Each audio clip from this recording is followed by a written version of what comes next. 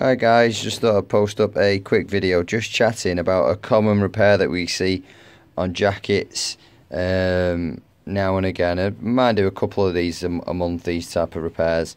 So what happens is, obviously nowadays fabric suits are made out of generally finer fabrics than they used to be, say, you know, going back 10, 20 years ago, that type of thing. So lots of modern jackets nowadays, because they're fine, and if you do wear them in the office, at your desk or you know stuff like that. Some people do. Maybe your office is a bit colder than maybe it should be, and people don't take the jackets off. And then the the elbow obviously is on your desk and it's rubbing against the desk, and then it causes uh, a little bit of friction, and then you get holes like this um, on your on on the edge there.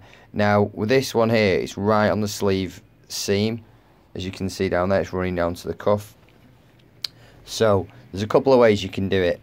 Obviously, uh, you could send it away for a reweaving repair to be done, but that is very, very expensive. I reckon it'd be around £150 for something like this. Uh, on some occasions, it's not obviously worth it. I'm not too sure on this make.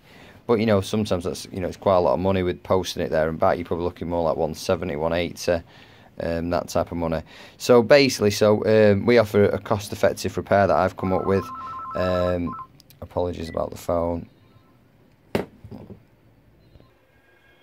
Apologies about the phone call. So, as the seam runs up and down there, the way we can do it, sometimes we get some fabric from inside the uh, jacket and we'd put this behind the hole, tidy up all these loose threads and then we'd bond it in place behind and then once it's done, it's like a discreet version of the of the rip.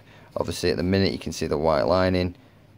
Um, afterwards it'll look more like that, but obviously way tidier than that because obviously we've got to remove all the white threads and then pull it over and manipulate it and put it back together so it looks more like just a clean slice after it, after it's been repaired. That's one way we can do it. Now the other way we can do it is, um, which is the most popular when it's near the seam like this one is, we can strip the seam down from top to bottom and then we can pass this over and then that repairs the sleeve and then that's the invisible method we can do it. So I will get onto it and I'll post up an after video after we've done it and then you see what you think. Thanks for watching guys. And for the main website if you found the video it's www.tailorsinmanchester.co.uk and our main website that we direct people to for suit repairs um, there's a lot more pictures on there on the gallery page is www.thesuitdoctor.co.uk thanks for watching guys. Take care and I'll post the after video up as well. Thank you